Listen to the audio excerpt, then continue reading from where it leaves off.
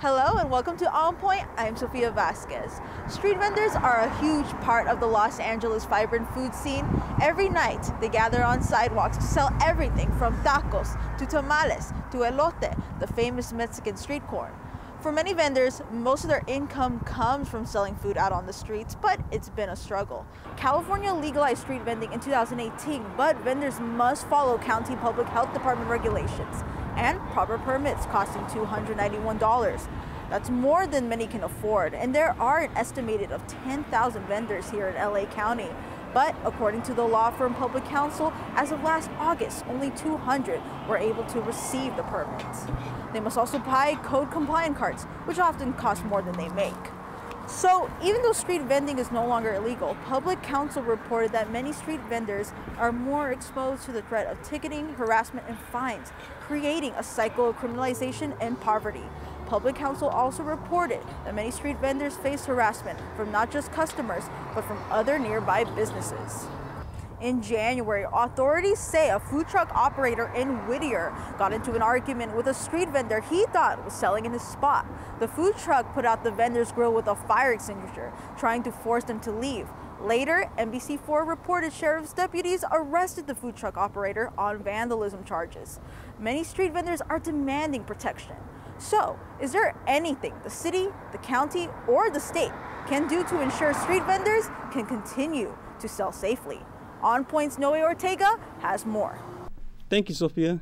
And today we have our guest, Lyric Kelkar, who is the policy director for community development organization Inclusive Action for the City, and Janette Villafana, who is a multimedia journalist and reporter for online publication LA Taco. How are you two today? We're good. So today, first question is going to be: Are street vendors good for the public to have around? Whether yes or no, please explain why. We'll start off with uh, Lyric.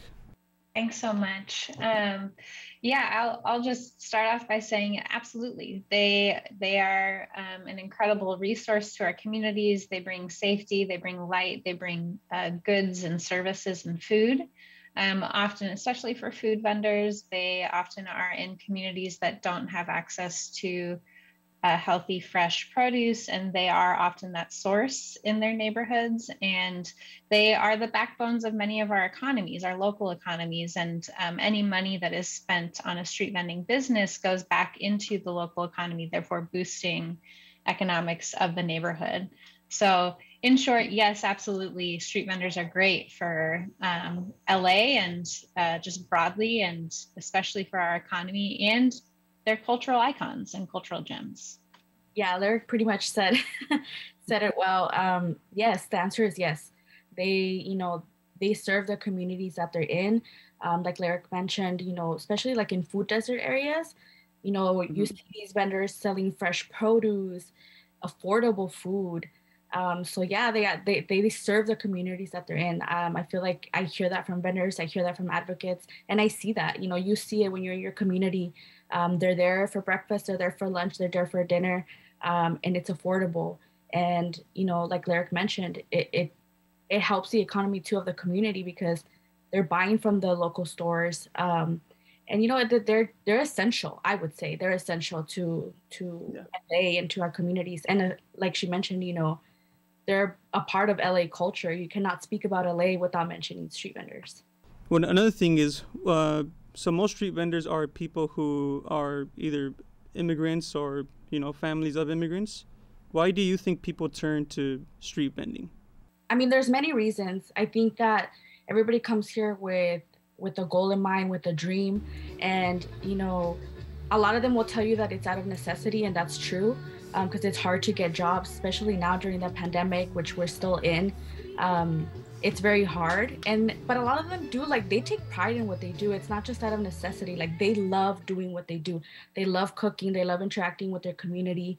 Um, but yeah, no, like they they're they're just they, it, it's hard to get jobs out there and and street vending is you know it's there it's it's they see it when you go to la you know you see them everywhere like they see that it's working. I mean there's issues definitely and they need more pathways um, for them to be successful.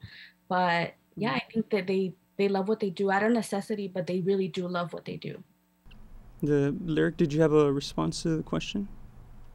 Echoing Janette and saying that um, it, you know, it's considered a low barrier to entry field and position, and it is incredibly entrepreneurial and showcases the hard work and dedication of folks who choose street vending as um, their career.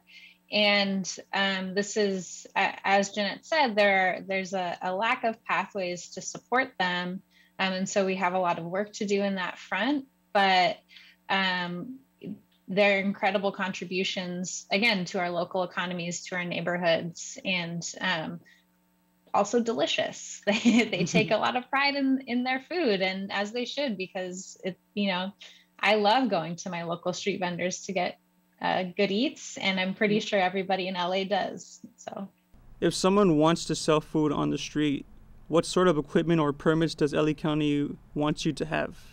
Uh, in LA County, so there it's a little bit complicated. So for food vendors, they have to get a series of different permits that have to happen. Mm-hmm. Um, typically within a jurisdiction, so like the city of Los Angeles, for example, they have a sidewalk vending permit. And so you have to get the sidewalk vending permit. But in order for you to get that permit, there's a lot of other things that, that a vendor has to get, including their seller's permit, which is a state permit, the BTRC, the business tax registration certificate, which is a local business registration. Um, in order to get your seller's permit, you need to get your ITIN, your uh, uh, I forget what it stands for. You're, it's a tax ID number for folks who um, don't have a social security number, and that's actually a federal requirement. And mm-hmm. then um, on top of that, for food vendors, they need to get a permit from the Department of Public Health. And that particular permit is incredibly difficult to get for a number of different reasons. And I, I would love to hear uh, Janette's understanding because she's written extensively about this yeah, the food permit. I feel like it's one of the big ones that vendors struggle with, and it's one of the many reasons um, of why they're being targeted and still being, you know, criminalized, even though street vending has been street vending has been legalized. Um, I mean, the numbers themselves say say this. You know, like in 2020, mm-hmm. only 165 permits were given out of like over 10,000 street vendors in LA that alone tells you everything. Um, but the food permit in particular for vendors is extremely too nearly impossible to get. Simply put, um, the requirements asked from the health department are simply not written with street vendors in mind. Um, the requirement, for example, that they ask for, you're talking about like four sinks and 20 cubic feet, feet of um, of what's it called refrigeration space microwaves, washing stations. And when you think of your local elotero or like your local vendors, mm-hmm. you you can't really think of them um, pushing a, a, huge cart, you know, down the block. It's just not yeah. realistic. Mm-hmm. Um, the health department, you know, does follow the California Retail Food Code law, which has um, implemented some of these requirements that we're talking about in California in general. Mm-hmm. Um, and advocates um, and street vendors themselves, you know, have expressed how this law um, is outdated and it needs to be rewritten with vendors in mind. Um, without this law being changed, there really isn't much vendors can do. And what they are most upset about is, you know, the city and law enforcement usually gives them, you know, they're always enforce the law, but they never give solutions to how they can get these permits or how to better like the permit system. Um, mm-hmm. And street vendors lose out on so much when the when these things happen, like when they have uh, their stuff confiscated, thrown away, and a lot of this is because they don't have that um, the health department permit, but it's nearly impossible to get uh, if you don't have the right cart. Yeah, that's a very interesting point because you said I think last year over a hundred uh, health permits were given out to food vendors? 65, yeah, out of over 10,000 street vendors. Okay, because we tried to get somebody from the public uh, health department to come on the show, and they weren't able to. Nobody was able to come on, but they did send me a response. And one of the the comments person who was in the public health department issued that public health issues over 1,000 public health permits to mobile food vendors each year. So is there a different type of um, permit that they're talking about compared to the one that you're uh, that you were mentioning? I can clarify a couple of these numbers. So the the 165 is specifically is specific to the city of Los Angeles. Mm-hmm. LA County Department of Public Health is the full LA County. Mm-hmm. The all well, it's actually only 85 of the cities within it, plus all unincorporated areas. Mm-hmm. Um, and then also mobile. I don't know how, specifically how they're classifying this, but food vendors are classified the same way as food trucks, called mm-hmm. mobile food facilities. And so it could be that there's a mix of um, i don't know for sure based on on what they've written to you but um, it could be that there's a mix of food trucks as well as food street food vendors mm-hmm. not to mention that um, there are certain types of food vendors that are easier to get permits for so like prepackaged foods such as chips paletas um, things like that the carts do mm-hmm. exist and they're they're they're um, i won't say straightforward but they're easier to get than yeah. um, like a taquero who doesn't have any equipment that has been approved by or like oftentimes they won't have the equipment accessible to them that's been approved by dph mm-hmm. so it could be that there's been a thousand food vendors in the last in some time period um, mm-hmm. but it's probably the um, paletas chips and then maybe some fruit vendors in certain circumstances just wanted to make make that clear because this is what they told me, so I wasn't sure if it was if it was a different permit. uh, how important are street vendors as a source of fresh fruit to certain neighborhoods? Extremely important. Um, like I mentioned earlier, you know, there's a lot of areas in LA that are considered food deserts and don't have, and the community doesn't have easy access um, to go to these stores. You know, whether it's transportation issues, money issues. Um, but these vendors are there. They're there providing fresh produce, whether it's the cut fruit or like, you know, when you see them, the big um, sacks of naranjas. Yeah. Whatever food it may be, you know, it's there and it's um, easy access for, for a lot of these communities. And uh, is the county of Los Angeles asking for a lot, or do they need more regulations met before selling food on the streets? I'm going to jump back a little bit. So, as Janette mentioned, there's something called the California Retail Food Code. That's a state level code.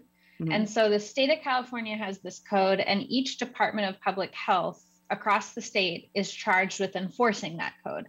And so, LA County is required to enforce the California Retail Food Code. And then within that, LA County also has its own interpretation, and they they assume they make certain assumptions about it. Mm-hmm. And um, we I, I'd be remiss not to mention that we do have a bill right now to amend the California Retail Food Code called SB 972, mm-hmm. and we are very much looking forward to to you know pushing that forward and making sure that it happens because it'll really right size and modernize the California Retail Food Code so that food vendors, street food vendors, are not classified and required to have the same set of things that a food truck is required to have or a big hitch trailer because yeah. they uh, typically sell. We did a um, we did a, a, a, survey of, of a couple thousand vendors um, back in like 2020 to 2021 and we found that typically they sell between one and two menu items and so that's mm-hmm. very different than a food truck that has something like you know 20 or 30 menu items and yes. having all the equipment that's associated with it so really this is about modernizing the code and making sure that the local department of public health all of them across the state are mm-hmm. interpreting in a way that actually benefits vendors and still promotes health safety instead of just restricting them outright which is effectively what it does right now because the other thing that's required for a health permit is a commissary space and we happen to know that there are not enough commissary spaces to accommodate if every single food vendor were to get a permit right now there would not be enough commissary spaces because as far as we know there's only eight across the county that mm. can service food vendors um, and eight different commissaries is not going to be able to hold all of their current clientele plus 10,000 more. Yeah. Okay. So the answer is yes. I think DPH is asking for too much. I think it's a matter of like them really and this goes not just for the health department but really like officials as well like when you're writing these laws or these requirements you really need to have the people who it's going to impact in mind um, and in this case it's vendors and i feel like a lot of the times they hide behind this like health um, um, like maybe they're they're not clean or this and that. But if you've ever visited um, a street vendor stand, whether it's tacos, elotes, um, pupusas, whatever it may be, you know, like they're clean. They have their cleanup crews at the end of the day. Mm-hmm. Um, and it's just a matter of them working with them and really talking to them and, and talking to the, the vendors in the community to hear like what works for them, what doesn't, and kind of having a meeting in the middle and having mm-hmm. middle ground, I would say. Um, one thing I want to ask as well is do you think the COVID 19 pandemic has affected street vendors financially and um, and with the public health as well? It definitely has. Um, I mean, during the pandemic, there was still sweeps going on. Uh, there were still sweeps that were going on. There was a moratorium put in place um, for a moment, but they were there were still vendors that were getting their their things confiscated, and they're they're losing out on a lot. It depends on like what vendor it is. For example, I I had a chance to interview a taquera who had her her whole equipment taken away, and she lost out on over a thousand dollars of um, merchandise and equipment, mm-hmm. and she hadn't even finished paying off the equipment she bought. Um, so yes, that that um, that pandemic before, during, and after. Uh, well, hopefully not after, but right now, you know, these confiscations, these uh, citations, these mm-hmm. encounters mm-hmm. with the health department, sometimes law enforcement, um, they, you know, they don't not only traumatize them sometimes, but it also yeah. it, like they accumulate debt because they're having mm-hmm. their things thrown away or their things um, taken away. So definitely huge, huge. They've been impacted enormously by the pandemic. I'll just add that. So, as I mentioned, we did the survey, and um, 96% of vendors saw a drop in sales based on just that survey. Mm-hmm. And um, we surveyed around 3,000 vendors. So, that's a, a pretty good chunk of folks who saw a severe drop in sales. And um, we know so inclusive action as an organization also serves um, has street vendors as our clients and uh, we know that a lot of folks have not been able to make it back up to their pre-covid sales um, and have are some of the most entrepreneurial people that i know and they pivot and um, have made sure that they're selling goods or foods that uh, their constituents need on you know a moment's notice they're able to to do it that way. And i just you know commend them for the incredible hard work that they've they've done for the last two years of the pandemic. And of course previous to that and will continue to do. Okay. So right now we're gonna we're gonna see a video on a street vendor that we were able to speak to the city passes, but we aren't afraid. We keep going forward because this is our job, and we have to keep going. So, seeing like you said, um, I think Janette, you said it that one of your one of your friends had their stuff, their car or food confiscated. Um, how aggressive are police in enforcing these laws? I do want to say there is vendors who have maybe had good interactions with police, but for the majority of the part, I feel confident in saying that, you know, law enforcement and their interactions with vendors, often, not always, but often, are not pleasant. Um, they can be very aggressive, as we've seen in a lot of videos that go viral. Um, often these officers work along with the health department and accompany the health department to with to these sweeps that we see um, happen across the city. Um, so definitely and you know we can say this i mean we see it we saw it recently in santa monica and i feel like we see it every now and then every month at least once or more than once a mm-hmm. month we see or hear about these raids and law enforcement is usually always um, present for this and you know that that them being present can be very intimidating for vendors but like the vendor in the video that you showed mm-hmm. said you know they're very resilient like they know that that they're out there working. They're not doing anything bad. A lot of them will say the same thing, um, saying, you know, like we're just trying to make a living. Like they're not selling drugs. Mm-hmm. They're not doing anything bad. They're just sharing their food, their culture um, with everybody else. Yeah. Did, is there anything you want to add, Lyric? Um, yeah, the majority of the stories that I've heard and seen have all been um, not great interactions with law enforcement and um, we know that you know armed enforcement doesn't go enforce for brick and mortar businesses. So why are they doing this to street vendors, a predominantly immigrant population? Um, it mm. very intimidating and unnecessary when, as Janette said, they're they're just doing their day's work. It's not they're just trying to sell food and sell goods to make make ends meet and uh, make their community thrive. And there there's been reports of a street vending cart that is in the early stages. Have you have any of you heard about it? Is it um the tamal cart? Yes. So that one is already approved, um, which is great, but it's also an example of how long it takes um, to for the health department to work with, in this case, you know, Richard the engineer, um, and that. Um, it is approved, but it took them several years of back and forth with the health department, yeah, speaking with tamal vendors and everything, um, to make this a reality.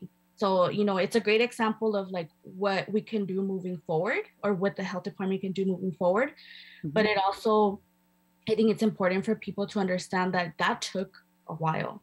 These men, you know, are, are incredible. They know the the system and all, but could you imagine like a vendor who doesn't? Trying to build yeah. their own cart mm-hmm. uh, for the health department to ultimately say no. Um, it's it's hard, um, but yes, the the cart has been approved. A few vendors have already uh, gotten their permits for the carts, which is amazing. Um, but you know, it's a step forward, but there's mm-hmm. still a long way to go. No, will will the cart cost less, or will it make it easier for uh, vendors to are able to sell on the street? They are selling them, but right now they are doing a lot of donations. They've given out um, five carts with LA Taco, six, no, five carts with LA Taco, sorry. Mm. Um, and I do think that they're planning on doing more giveaways. The card itself, I believe when we first talked about the design, they mentioned somewhere along 7,000 to 7,500, um, which is still pretty pricey for vendors, but it's cheaper than some of the other cards that are out there that could mm-hmm. run up to like twelve thousand dollars. Um, mm-hmm. Hopefully, I know Richard mentioned you know wanting to like offer like payments or loans. They do have a GoFundMe for people to donate so they can use that money to give more carts. Um, so they're really trying to make an effort to get as many vendors this carrito that mm-hmm. that is essential for for for everybody. But this one is specifically for tamal vendors only. And I just want to put a quick pin in that that mm-hmm it took years for this one very specific food. Yeah. So the reason that it's a tamal vendor specifically is because of one sentence in the California Retail Food Code that calls out three foods, one of them being tamales. So it's um, incredibly like this document is incredibly technical and really wild that food vendors are expected to um, know it you know backwards and forwards to be a, to be able to develop their own cart. What are the other two foods on that on that list? Hot dogs and corn on the cob. Okay. elotes. They don't it doesn't say elotes it says corn on the cob. Yeah. Is it fair in your opinion that there are unpermitted street vendors who are making money by selling food on the same block as a vendor who pays to have a permit or a food truck operator for example? I think it's comparing apples and oranges. Mm-hmm. so there's um, first there's a myth that there's competition between different types of businesses on the same block which mm-hmm. is not true there's been lots of studies that showcase that street vending actually promotes pedestrian activity and brings more customers to different businesses mm-hmm. and then comparing a permitted food truck to an unpermitted street vendor is um, that's difficult for many different types of reasons everything from access to capital a food truck costs a lot more so there's like a class differentiation between the 2 mm-hmm. and then for street vending there really isn't a, a true pathway forward as janette was man- mentioning earlier in order for them to get a food truck or sorry excuse me a permit for their food um, their food vending sidewalk vending business mm-hmm. um, yeah i don't know janette how, how you'd think about it yeah, same. I think a lot of food, not all of them, but some food truck um, owners started out as vendors, and a lot of vendors mm-hmm. um, have dreams. You know, some of them are okay with being a vendor and want to, that's why they want to push for like these permits to be more accessible. But also, a lot of them have dreams of owning a food truck or even a brick and mortar restaurant, which many have done, but it's a lot of hard work. It's, um, it, you know, it's, it's different. I think Lyric put it well when she said, you know, that comparing the two is just, there's too many things that are different. Um, mm-hmm. um, as far as like getting their permits, um, money. Um, yeah, I, I wouldn't compare the two. And I feel like a lot of the times food trucks, at least some that I've had interactions with, you know, there's a community of vendors. They talk to each other. Um, hey, I'm gonna set up here. You know, they, they tell that to, to the food truck owners. And a lot of the time they don't have um, a problem with it because at the end of the day, you know, the street isn't owned by mm. any food truck um, or business. Um, so but they do have those dialogues between sometimes between brick and mortar businesses and food truck owners. Um, everyone's just trying to make a living. That's what I would say. Well, it looks like that's all the time that we have. I want to thank you too for coming on the show. I love hearing what you guys said, and thank you again. Thank you for inviting us. Yeah, thank you so much for having us. You're watching On Point, and we'll be right back. When I was in foster care, I never knew when I would have to move, so I always had my suitcase ready to go. Then one day, I was adopted. My new parents opened their hearts and home to me. My parents cook my favorite breakfast for me every morning. My parents take me on trips I never thought I would go on. They gave me a home and an even better reason to use that suitcase. My parents aren't perfect, but they're perfect for me. When I never graduated from high school, I realized I wanted to go back to school because I didn't want to work these backbreaking jobs the rest of my life. With the help of my father and having my son, that was all the motivation that I needed to come back to school. I felt accomplished, made me feel that I could take on whatever challenges life throws at you.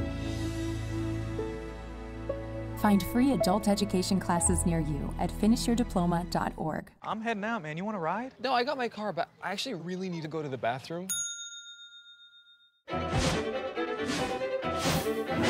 Dude, are you okay? I am definitely buzzed. Yeah. I think I will take this and I will take that ride home.